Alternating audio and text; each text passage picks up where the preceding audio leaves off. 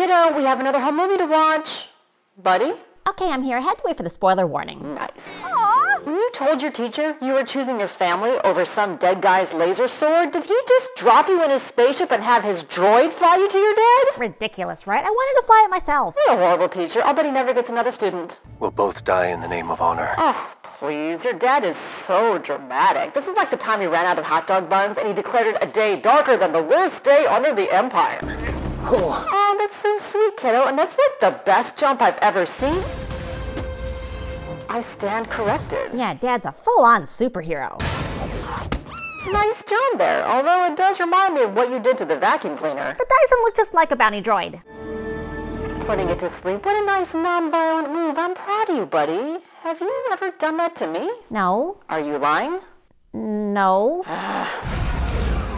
Good thing the ship we got you for your birthday doesn't go that fast. Good thing Peli showed me how to modify it. What? Nothing.